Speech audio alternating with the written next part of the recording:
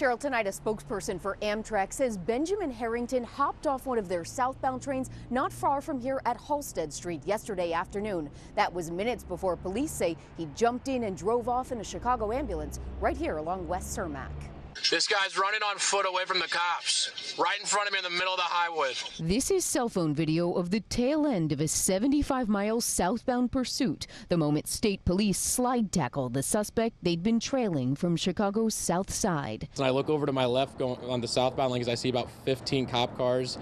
No clue what's going on. I thought it was just a big car accident. Without warning or any idea of what led up to this, Garrett Tias happened to catch the last seconds of a nearly two hour ordeal. And I just see a man take off in the grass and I was like, oh my God, there's a guy fleeing the scene. What he'd missed was the high speed cross county chase of what police say was a stolen Chicago ambulance. Surveillance video shows a man hopping in it Monday afternoon as it's parked outside a Chinatown fire station. In scanner traffic, you hear the driver ranting over the radio about drugs. I was even when I was on drugs.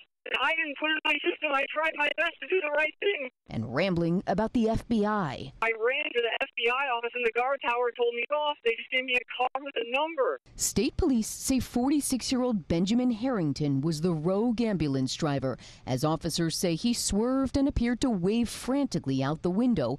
Herrington's mother in St. Louis said her son called her from the cab of the ambulance.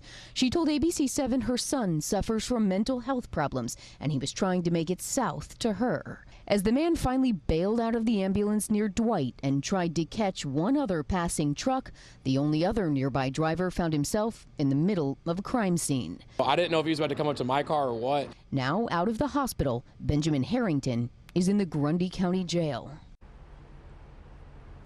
The Grundy County State's Attorney's Office says Benjamin Herrington is scheduled to appear before a judge there tomorrow morning. Hey, if you like that video, be sure to subscribe to our ABC7 Chicago YouTube channel.